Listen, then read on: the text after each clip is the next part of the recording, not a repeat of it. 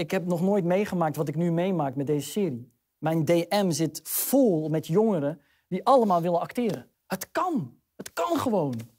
Ik, ik kan acteur worden. Ja, dat, dat is te gek. Dat is echt mooi. Laat je leiden door de man die angsten overwint. Die ervoor gaat zonder te vergeten waar hij vandaan komt. Die heilig bloed door zijn aderen heeft lopen. Nasruddin the Brave. Phonics New School Heroes.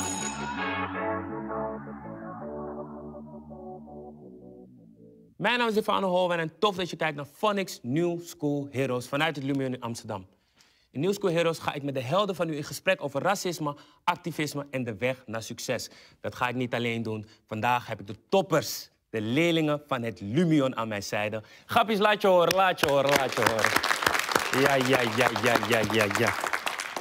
Dankjewel. Mijn gast van vandaag is niet zomaar iemand. Jullie kennen hem natuurlijk allemaal als potlood uit Mokro Mafia of van de films Wolf en Rabat. Hij won een gouden kalf en is een man naar mijn hart die zich online uitspreekt tegen racisme en onrecht. Ik heb het natuurlijk over niemand minder dan Nasreddin Char.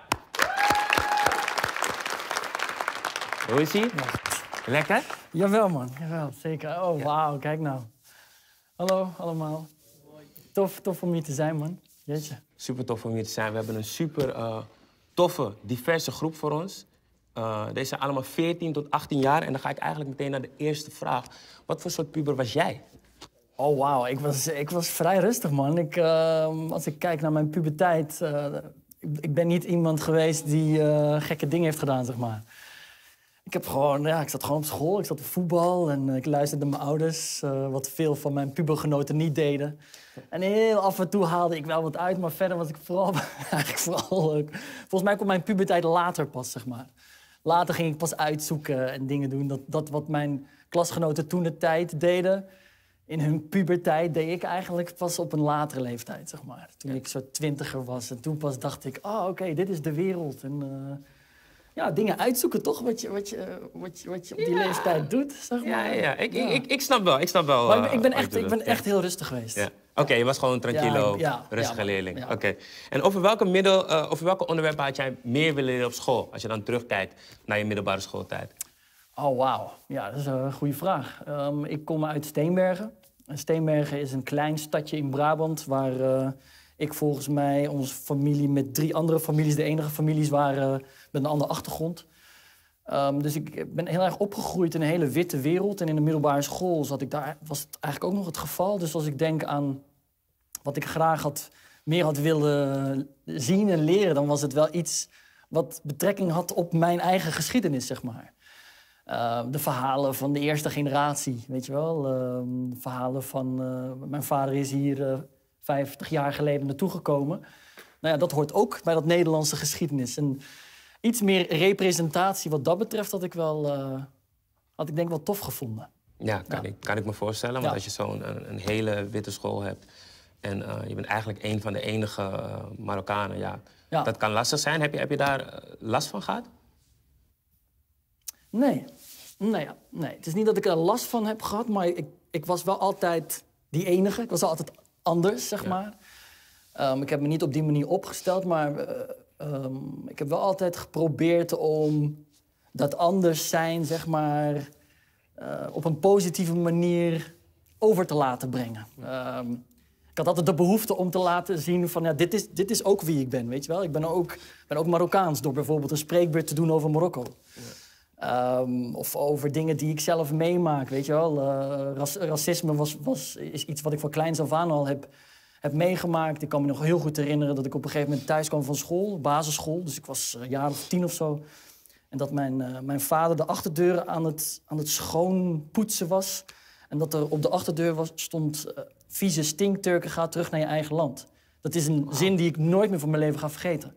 Maar het is wel, denk daardoor, dat ik uh, op de middelbare school spreekbeurt heb gedaan over rassenhaat en zo. Ja. Je wel? Om, om die dingen wel steeds steeds wel aan te, aan te kaarten. Want, want, jij kaartte het dan wel aan, maar werd er ook vanuit school over racisme gesproken? Nee, ja, nee amper. Nee, het is niet, dat is niet iets wat, wat me nu te binnen schiet van ja, daar werd op gehamerd of zo. Ja, ja ik, was, ik was natuurlijk een van, de, een van de weinigen. Dus dat speelde gewoon niet echt, behalve bij die, ja, bij die enkeling, zeg maar. En voordat jullie eh, vragen aan Nasser mogen stellen, heb ik een stelling voor jullie. Jullie weten inmiddels hoe het werkt met de, de smileys. Eens is een happy smiley en oneens is een uh, boze smiley. En uh, de eerste stelling luidt: Ik weet al wat ik over tien jaar wil bereiken.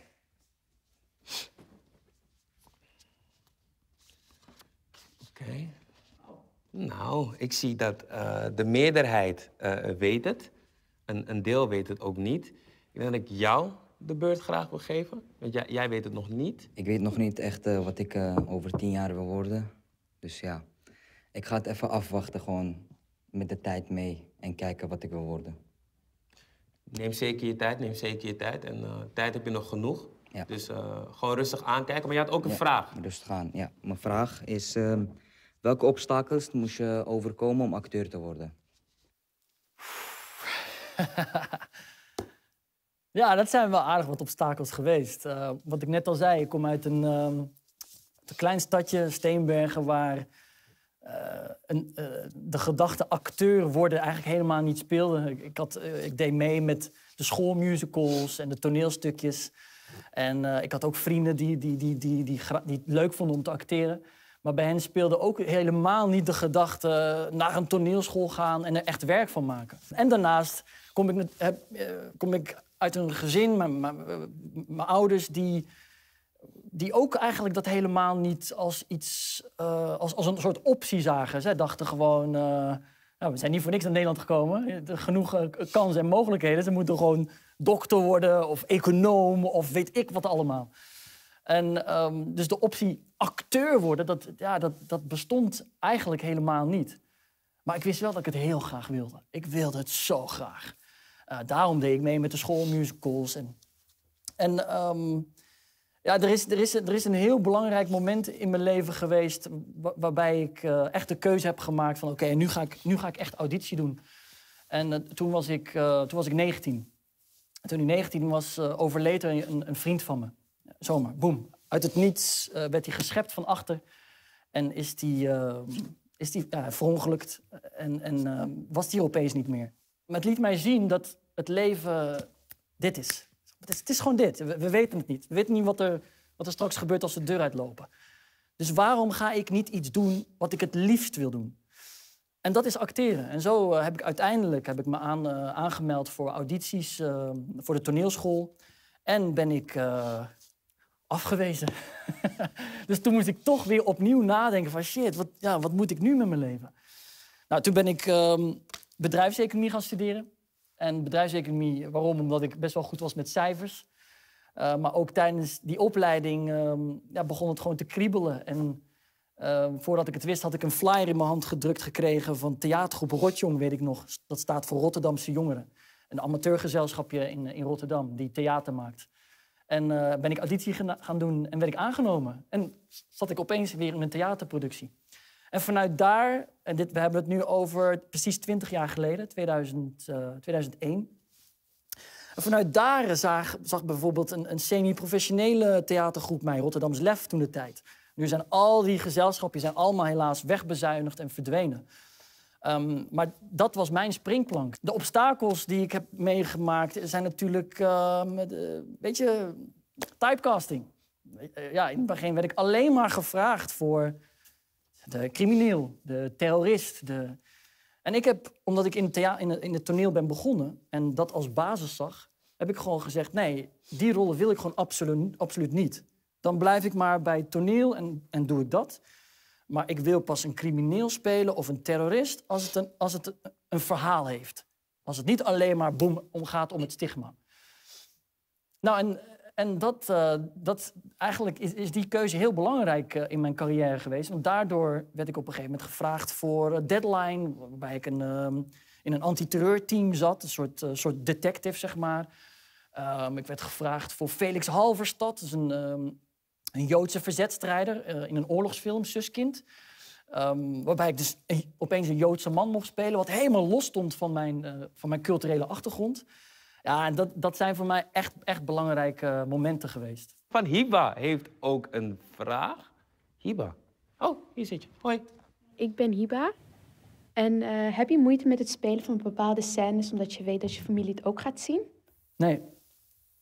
Nee, ik heb daar echt nul moeite mee. Dat is iets wat ik, ehm, wat ik vanaf dag één al weet dat dat hoort bij mijn vak. En Dat is het mooie van mijn vak. Ik kan me verliezen in, in, in personages. En als dat nou eenmaal... Kijk, ik heb wel grenzen. Hè. Ik heb wel een grens. Die heb ik voor mezelf bepaald. Maar het is niet zo dat wanneer ik een script krijg en er staat... eh, er wordt ingezoomd, dat ik gelijk denk... Wai yo, Hashuma. Wai yo, dit kan niet. Nee. Nee, want als ik... Want het, het mooie van mijn vak is dat, vind ik in ieder geval, dat, dat, je, ja, dat je helemaal kan verliezen in een personage. En, en dat je daardoor je eigen leven, waar je zelf mee zit, dat je dat gewoon even naast je kan liggen. Naast je, je neer kan leggen. En, ehm, en wat, wat belangrijk is, daar moet ik er wel bij zeggen, is het verhaal. Als ik, natuurlijk, als ik het lees, denk ik wel, hmm, is dit echt nodig? En als ik vind, ja, het is echt nodig, nee, dan heb ik, dan heb ik nul, nul moeite mee. Ik zeg wel tegen mijn ouders vaak over een productie, "Mm, die hoef je niet te zien. dat wel, want ik, dat, weet je wel, die respect heb ik wel naar mijn ouders toe en zo. Maar ik doe iets niet omdat andere mensen denken, nee, dit mag niet of zo. Oké, dankjewel. Alsjeblieft. Amira. Vind je dat je op je vijftigste nog steeds tijd hebt om je dromen na te jagen? Vind je dat je op je vijftigste nog tijd hebt 50ste? om je Oh. dromen na te jagen? Gelukkig ben ik nog geen 50. Ik ben nu 42 en ehm, dromen najagen is iets van alle tijd. Maakt niet uit welke leeftijd je hebt, je hebt altijd dromen. En ehm, ja, het mooie van dromen is dat je, tenzij het hele absurde dromen zijn, maar dromen zijn er om ze waar te maken. En ehm alhamdulillah zit ik hier en kan ik zeggen dat ik, dat ik ze, voor, voor mij, dat ik goed bezig ben in ieder geval. Living the dream wat dat betreft. Ja. Horen, het sky is the limit, jongens. Of je nou heel jong bent of heel oud, ik denk dat je gewoon altijd gewoon je dromen kan najagen. En laat Zeker. niemand, je te zeggen, laat niemand je zeggen dat je te jong bent of te oud bent, toch? 100. We kunnen er altijd voor gaan. Jullie gaan, eh, we gaan weer de bordjes erbij pakken, jongens. Pak even allemaal jullie bordjes, want ik heb een nieuwe stelling voor jullie. En de stelling luidt als volgt. In Nederland heeft iedereen gelijke kansen. Dus eh lachgezicht is eens en boze gezicht is oneens. In Nederland heeft iedereen gelijke kansen. Oké, oké. Ik zie eh, de meerderheid is oneens. Ik zie jou twijfelen. Laten we even naar de, naar de, de twijfelaar gaan. Ik zie hem een beetje van, nou, ik ben een beetje eens en een beetje oneens. En ik eh, ben wel benieuwd waarom. Hallo, mijn eh, naam is Ryan en eh, ik vind dat iedereen wel gelijke kansen moet krijgen, maar het is niet altijd, het is niet altijd zo. Want bijvoorbeeld, als je bijvoorbeeld een Marokkaanse achtergrond hebt of zo, het is vaak moeilijker om aan een baan te komen of iets eh, anders te doen of een andere achtergrond. Eh, ja, ik vind van wel, maar eh, ik weet hoe ik het goed moet verwoorden, maar het is gewoon. niet, niet, niet iedereen heeft helaas gelijke kansen in de, in de, in de, in de maatschappij. Ja, nee, als ik je zo hoor, lijkt het alsof je zegt van... het is niet zo, maar je vindt wel dat we naar een wereld toe moeten... waar iedereen gelijke kansen heeft. Ja, stukje toch? voor stukje gaat het wel vooruit, maar Ja. eh, ja. Ben ik, eh, ben ik zeker met je eens. Eh, ik ga Nasrin ook vragen hoe hij eh, over dit topic denkt. Ik denk dat ik al je antwoord kan raden, maar eh, ben jij eens of oneens met de stelling?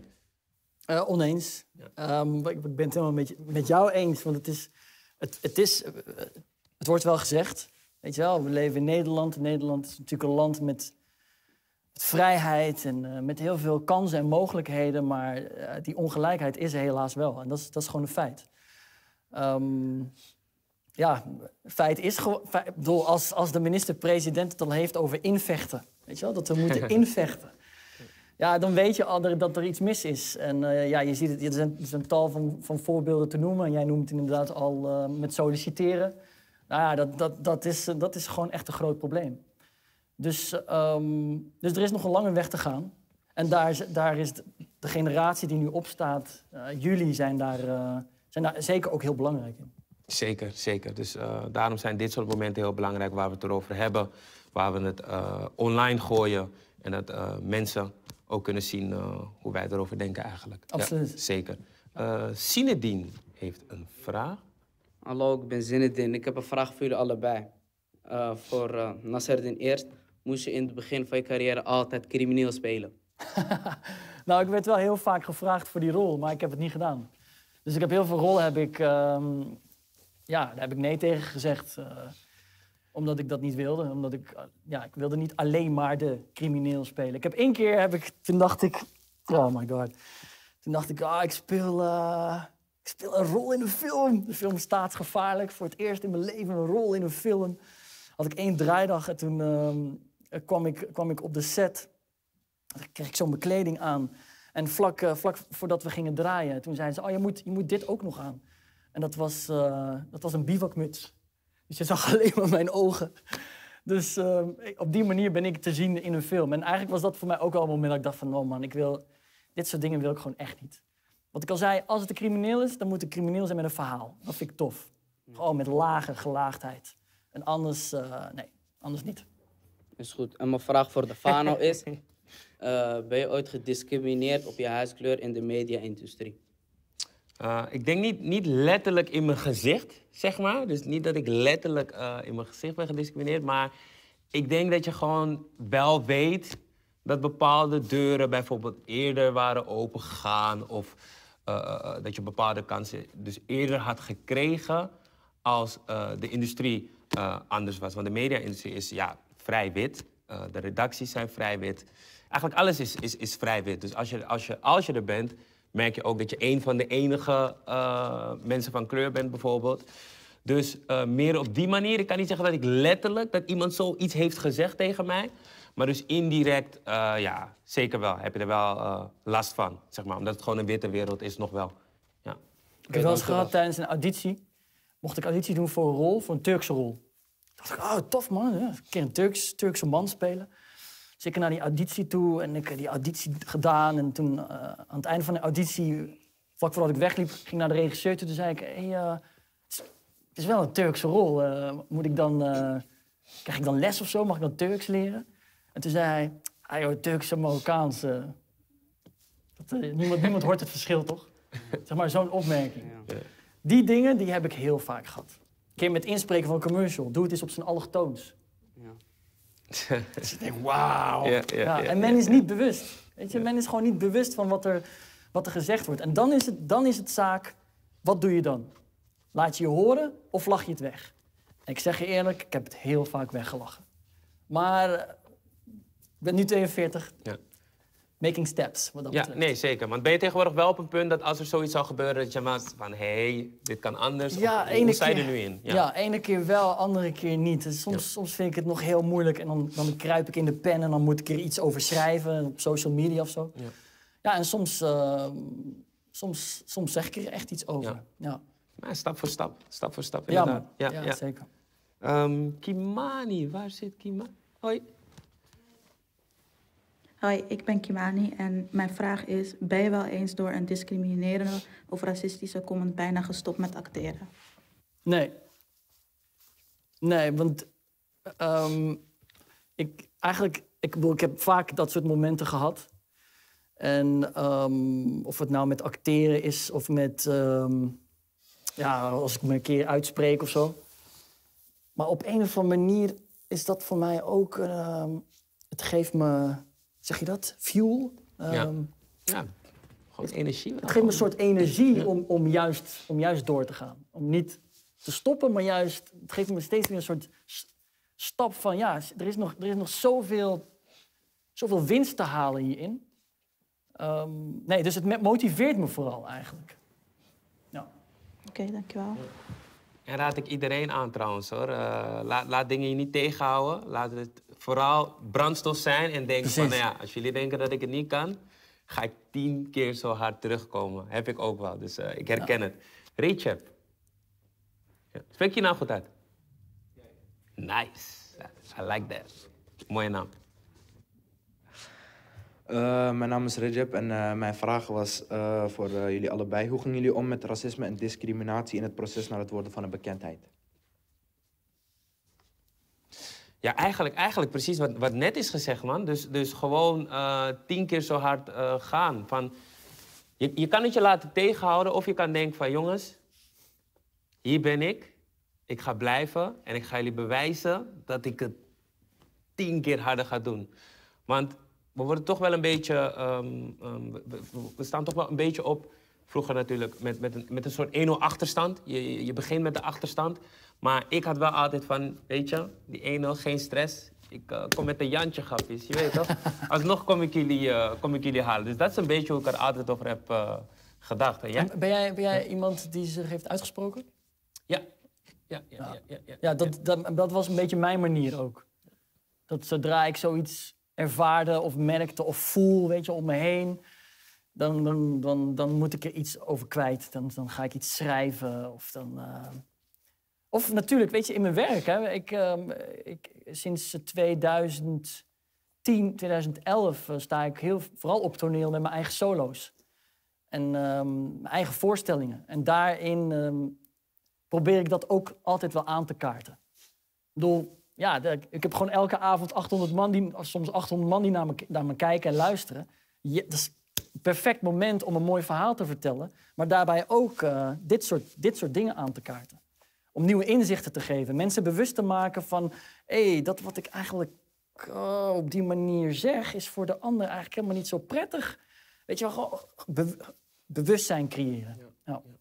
Daarom zijn ze zeker bezig met die bewustwording. En ik las ook in een interview dat je eh, eigenlijk pittig gesprek hebt gevoerd eh, over uh, Mokromafia. Toen je voor het eerst eh, je script las. Ja. Waarover gingen die gesprekken? Ja, met, eh, met Ahmed, Ahmed Akabi, de showrunner van, van de serie. En ook heel, een ja, hele goede vriend van me. We kennen elkaar natuurlijk van way back. En dat ging heel erg over het stigma. Weet je, hebben, jij vroeg net ook al over criminele rollen spelen. Nou ja, Mokkel Mafia is een wereld waarbij we juist de wereld laten zien van die, van die criminelen. En hoe zorg je ervoor dat het, dat het niet alleen maar daarover gaat? En daar ging dat gesprek heel erg over. De, is, is het wel gelaagd genoeg? Weet je wel, gaan we wel, gaan we wel die andere lagen pakken? Of gaan we alleen maar laten zien, het zijn criminelen? Nou, dat was een, dat was een belangrijk en goed gesprek. En ik merkte ook, vooral bij die eerste lezing, dat, dat, die lagen echt wel, dat we die lagen echt wel pakken. Door je, je gaat mee met een gezin die, die, die kapot gaat. Je gaat mee met jongeren die, die de wereld in worden getrokken. Je, je, je, ziet, je ziet eigenlijk de nachtmerrie rondom, rondom die wereld. En, um, en daarnaast wil je natuurlijk ook gewoon, ja, gewoon een serie maken waar iedereen naar kijkt. En ik hoop dat die dingen eruit worden ge, gepikt, ook, ook vooral door, uh, door jongeren. Weet je, dat ze... Ik, heb, ik heb nog nooit meegemaakt wat ik nu meemaak met deze serie. Mijn DM zit vol met jongeren die allemaal willen acteren. Weet je wel? Die allemaal, uh, kan ik auditie doen? Dus het heeft gelukkig ook een soort, op een soort positieve manier heeft het ook gewoon effect. Van, uh, ja, men ziet zich ergens zichzelf gerepresenteerd in zo'n serie. We spelen dan wel criminelen, maar we zijn het niet. We spelen het. En dat zijn, dat zijn allemaal criminelen met verhalen, met ieder hun eigen leven. Um, maar het feit dat we daar zijn, dat we, die series, dat we in die serie spelen waar iedereen naar kijkt, is voor heel veel jongeren opeens van: het kan. Het kan gewoon. Ik, ik kan acteur worden. Ja, dat, dat is te gek. Dat is echt mooi. Zijn er hier mensen die Mokker Mafia hebben gezien en denken: Nou, ik kan, ik kan zo'n rolletje ook wel aan? Is er hier iemand? Yep. Nou, ik zie heel veel handen. Ja, ja, ja je denkt, uh, je kan het aan? Zulke dingen kan ik sowieso aan. Dat sowieso. Is, kunnen we gewoon regelen. Oké. Okay. Mooi om te horen. Want ik zie inderdaad ook uh, echt uh, de DM's van Mokrom even vol zo met... ik wil zo'n rol en ik zou ja, zo'n rol kunnen spelen. Ja. Want wat voor rol zou jij dan kunnen spelen, denk je? Ik, ik zou misschien wel... ik heb ook het boek van Mokrom Mafia gelezen. Misschien iets in die nieuwe generatie, weet je toch? Want jullie zijn dan al die volwassenen die al in die hele kartel zitten en alles. En misschien heb je die nieuwe generatie die dan ertussen komt of zo. Ja. Oké, okay, mooi. En, en zou je ook in een serie spelen wat gaat over een school? Zo, dat je gewoon een... Ja. Dus, het, ga, dus het, gaat, het gaat je wel echt om acteren, toch? Ja, Niet alleen maar om in die serie spelen. Nee, tuurlijk, maar okay. het acteren is ook wel leuk. Gewoon af en toe, weet je, het is lachen. En ook wel een keer, uh, ik heb ook een keer auditie gedaan. Het is lachen, het is leuk zijn. Het is met heel veel mensen werken en alles. Ja. Dus uh, ik zou het wel een keer willen doen, joh. Oké. Okay. Ja, super tof om te horen. Super tof om te horen. We gaan het ook hebben over activisme. Wat is activisme voor jou? Je hoeft niet met een megafoon bij een protest te staan. Er zijn heel veel verschillende manieren waarop je dit kan doen. In voorstellingen, op TikTok of met je familie erover praten. Waarom kies jij ervoor om je via social media te uiten, Nassim? Ja, het is, uh, het is een platform waar, uh, waar je in één keer veel mensen bereikt. En ehm, ja, ik zie dat gewoon in als een, als een manier zoals ik, zoals ik met mijn voorstellingen in de zaal die honderden mensen bereik met mijn verhaal. Ja, zo zie ik social media ook. Weet je? Ik, kan, ik kan met één post kan ik mensen bewust maken over bepaalde zaken. Kan ik mijn mening ventileren.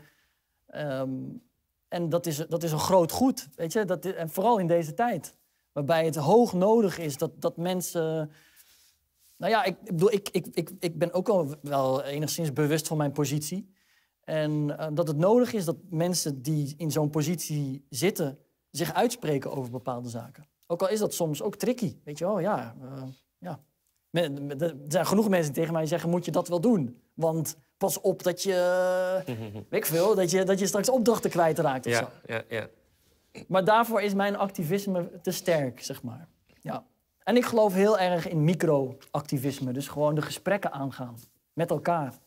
Wanneer, eh, wanneer een vriend een, eh, ja, een, stomme grap maakt, dat je niet stil blijft, maar dat je zegt: hé, hey, deze grap is niet oké, man. Beter, beter maak je hem niet meer. Ehm, dus, dus op die manier ook.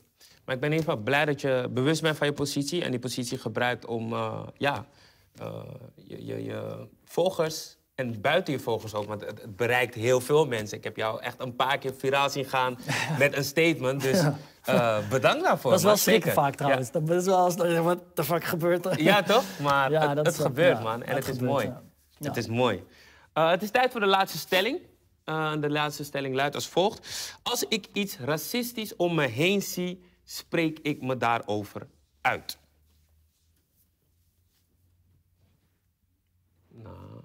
Oké, ik zie eigenlijk maar twee keer oneens. Dus ik, ik ga naar jou, die hier zit. Als ik eh, om me heen racisme zie, of eh, als het met een vriend is of zo die eh, gediscrimineerd wordt of zo, dan grijp ik meestal wel in. Maar eh, als het eh, om kleine dingen over mezelf gaat en zo, dan, eh, dan is het alsof ik gewoon eh, niet wil storen, soort van. Dat, wat, dan gaan ze weer denken dat ik overdrijf en zo. En wie is ze? Gewoon die mensen die dat doen. Heb je dit, heb je dit persoonlijk meegemaakt? Of is er een keer iets gezegd? Nee, nee, niet vaak. Maar wel een keer. Ja. En wat is toen gezegd? Weet je dat nog misschien? Eh, Het was in de zomer. Toen eh, het was voor de supermarkt en er was gewoon wat gebeurd en zo. Maar ik wil niet in details gaan. Maar het is- dat is een. ehm, Ja, die, ik vind die, die raakt me wel, man. Ja. Weet je wel, de, dat, dat, dat, dat, je, dat je overdrijft.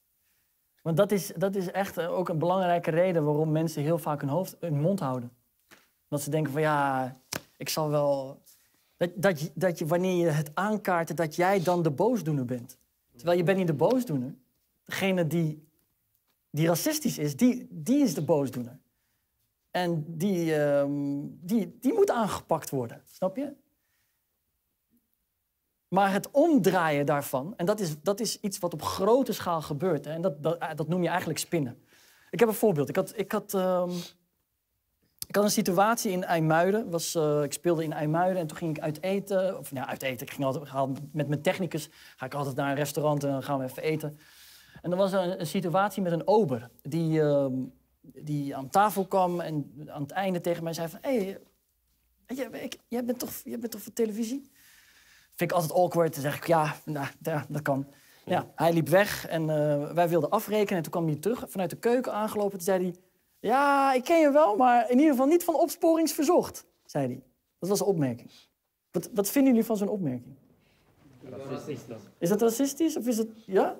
Vooroordeel, vooroordeel. Vooroordeel, racistisch. Ik, ik stop met mijn bek vol tanden. Ik wist even niet...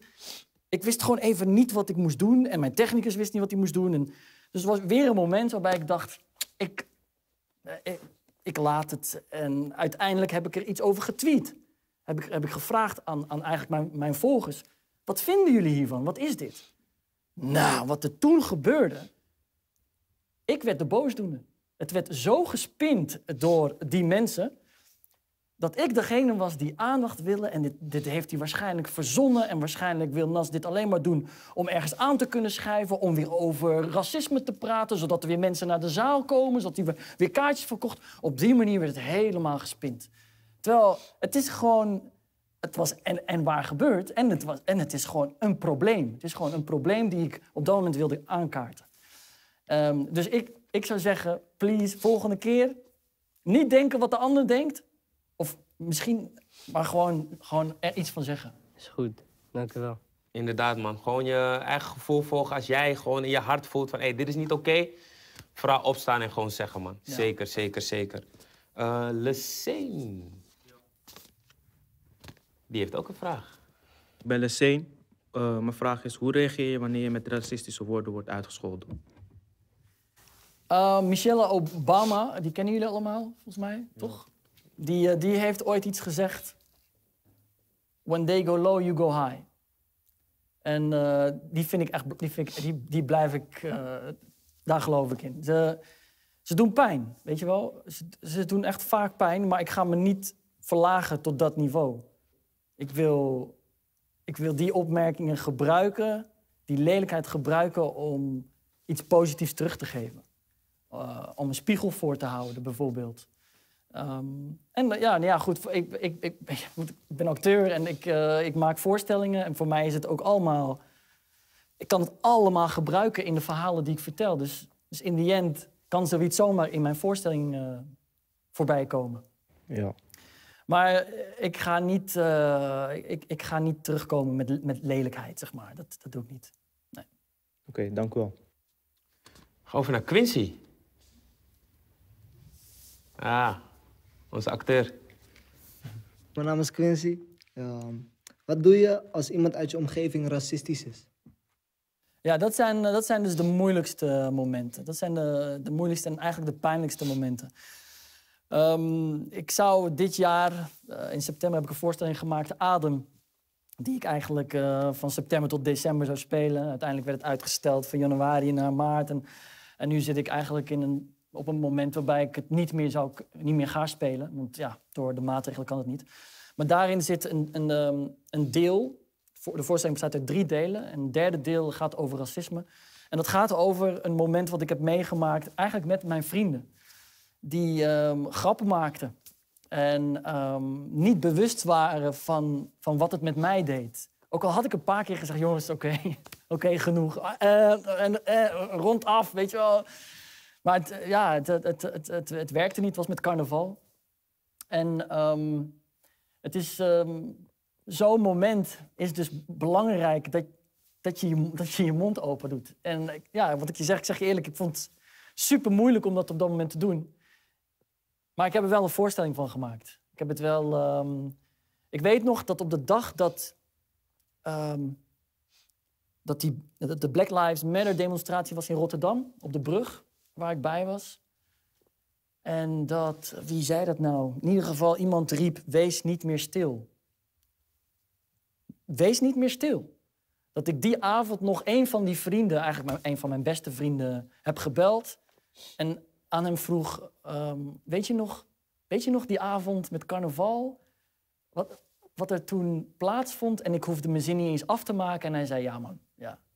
Ik heb, ik heb er heel lang over, over gedacht, met zijn vrouw ook over gehad: van, moet ik dit nog met Nas bespreken? Maar, maar ik hoefde niks meer te zeggen, want het was, het was duidelijk. En um, dus dat geeft ook aan dat het gelukkig bij hem dat hij dat, dat vermogen ook had. Het soort, ja, het, soort empathisch vermogen om te beseffen... oeh, we zijn wel een grens overgegaan of zo. Maar spreek je uit. Spreek je uit. Ik denk dat dat gewoon wel, gewoon wel belangrijkste is wat ik, uh, wat ik uh, in dit uurtje wil ja, zeggen. is, is wel een beetje de rode draad. Ja, dus man, spreek wees niet uit. stil. En inderdaad, met je vrienden of vriendinnen kan het natuurlijk ook een heel moeilijk gesprek worden. En ik kan me voorstellen dat je een soort... Um, ja, dat je het soort warm krijgt van, hey, moet ik dit gesprek echt gaan voeren? Maar als het gebeurt, doe het zeker. Want ze hebben er wat aan bij jou, in jouw bijzijn, maar ook gewoon bij anderen kunnen ze dan gewoon beter voor de dag komen. Dus 100%. het is echt een, een, een belangrijk gesprek. Um, als niet Mark Rutte, maar jij, Nasreddin, uh, minister-president was van Nederland. Wat zou jij doen aan ongelijkheid in Nederland? Jeetje mina, wauw. Ja, het is wat. Dat is een, uh, dat is een hele dat is een pittige vraag. Ik zou, Ik zou in ieder geval niet dingen zeggen als invechten. Weet je wel? Dat, eh, dat mensen zich moeten invechten. Nee, ik, ik denk dat representatie heel belangrijk is. Ik denk dat wat je, wat je net al zei, weet je, dat je ergens op bij een ehm, ehm, redactie komt en je ziet alleen maar witte mensen. Als je kijkt naar de, de, de talkshows het afgelopen jaar, wat eh, 9 van de 10 keer over corona gaat, eh, waarbij de tafel ja, dat de mensen die aan tafel zitten alleen maar witte mensen zijn. Alsof, alsof er geen mensen van kleur verstand hebben van epidemieën. Weet je wel, zulke dingen. Representatie op, op, op elk va- vakgebied. En het gebeurt langzaam. Ik zie het om me heen gebeuren. Maar ik zou me daar wel heel erg op focussen. Ik, ik, ik zou me focussen op de verhaal. Mijn verhaal is geen uitzondering. Maar het lijkt wel op een uitzondering als ik ze vertel in de zalen. Als ik, als ik in Groningen speel of in weet ik veel waar in het binnenland. Waarbij de zalen vooral, vooral gevuld zijn met, met wit publiek. Dan lijkt het alsof mijn verhaal uitzondering is. Maar juist die verhalen van, van minderheden ehm, belangrijk maken. Zodat iedereen ehm, dat verhaal kent. En zodat dat verhaal ook een soort onderdeel wordt van, van dat Nederlandse DNA. Want jouw verhaal hoort net zo goed bij Nederland als het verhaal van Jan uit Steenbergen of zo. Want we zijn, we zijn allemaal Nederlanders, weet je wel? We, we horen bij dit land. En die, eh, die in- inclusie eigenlijk, dat, dat inclusieve, daar zou ik als, eh, als minister-president voor strijden. En ik zou gewoon eh, willen dat heel veel jongeren gewoon eh, plezier gaan hebben, zeg maar. Gewoon Ja. party, feestjes. Nee, ik, eh, ik, ik ben het helemaal met je eens, man. Inclusiviteit. je Ja, weet toch? het, Ik zou op dat Ja. feestje van jou Ja. straks, ga ik... Gaan we chillen, gaan we chillen. Sowieso, man, broeder. Nasreddin, eh, de tijd is gevlogen, man. Dank je wel. We zijn gewoon al klaar, man. Wauw. En dankjewel, eh leerlingen van Lumion, voor eh, al jullie vragen. Ik wil deze Phonics News School Hero sowieso afsluiten met een verrassing. Want we hebben namelijk iets voor jou. En dat is het volgende. ja, ja, ja, ja, ja. Pak hem zo. aan, pak hem aan, pak hem aan, pak hem aan. Hij is gewoon voor jou, man. Om je te bedanken voor je tijd en je openhartigheid. En eh, nou. ja, we vonden het gewoon super, super tof, man. Dus nogmaals dank. Dit was weer een aflevering van Phonics New School Heroes. Check ook de andere afleveringen. Like, abonneer en share. En onthoud, make the change, be the change. Tot de volgende. Hoi! Woe!